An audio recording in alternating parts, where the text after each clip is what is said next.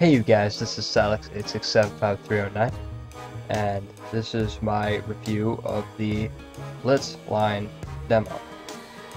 Lilt Line is sort of a different game. It involves basically you controlling a dot, trying not to hit walls, and also tapping to the beat. It's kind of different.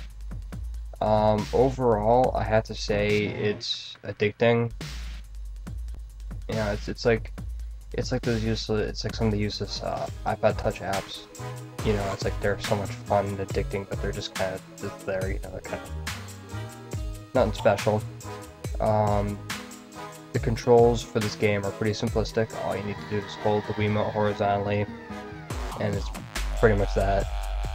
Um, the music in this game was pretty good and I can't really say anything about the graphics because well it's pretty simple. And uh, it actually it's like it's not that hard.